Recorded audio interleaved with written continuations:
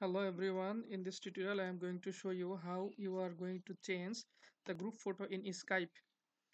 And now at first you have to open the Skype in the desktop. Only in the desktop version of Skype will allow to change the group photo once you have set one photo.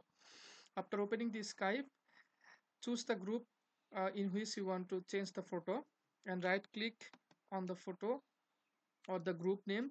You will find various options. Among them choose manage group after choosing manage group this window will open and you can see whenever I put my cursor in this photo there are options update profile picture.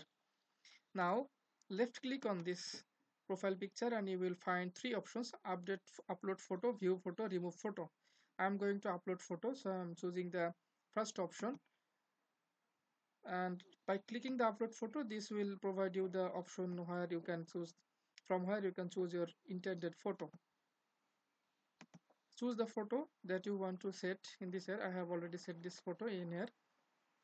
And just cross close this group profile. And now we can see that the group profile picture has been changed and there will be notification that somebody has changed the group a group conversation picture.